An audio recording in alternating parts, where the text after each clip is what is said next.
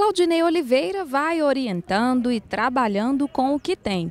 Vai também conhecendo o grupo. Algumas semelhanças dificultam. O próprio Claudinei, né, nesses últimos treinamentos, estava chamando Davi de Juliano. O que o volante Juliano quer ter parecido com Davi é a ascensão que o colega teve em 2013. Ele foi um grande exemplo para mim ano passado, porque ele não vinha jogando, é, sempre batalhou durante os dias ali e durante o final, do, o início do segundo turno do Brasileirão ele começou a jogar e não saiu mais.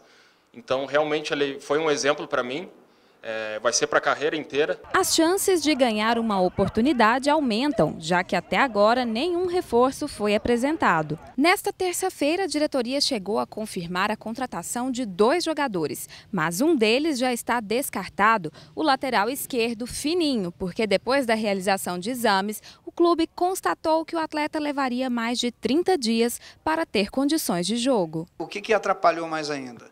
É, no domingo, não sei se vocês é, perceberam isso, no domingo o Mário teve uma lesão, grau 1 posterior, né, no posterior da coxa esquerda. Então eu não poderia né, arriscar agora em contratar um jogador que eu também demoraria 30 dias, sendo que o, o, meu, o meu outro jogador também necessita de 30 dias. Se o Mário estivesse aqui inteiro, tranquilo, né, a gente aguardaria. Só que foi o que eu conversei com o Fininho, com o procurador dele, e disse a eles que né, nessa situação seria seria inviável. Já o zagueiro Vinícius, ex-esporte, ainda é esperado no Goiás. O Vinícius é um, um jogador que está bem adiantado, já temos acertado com ele, tenho acertado também com o André, é, que é o diretor de futebol, superintendente de futebol do, do Santos, temos acertado com o Zinho, né? está faltando a liberação do treinador, né, do, do, do Oswaldo, que essa semana, ontem, me parece, teve uma contusão de um zagueiro e ele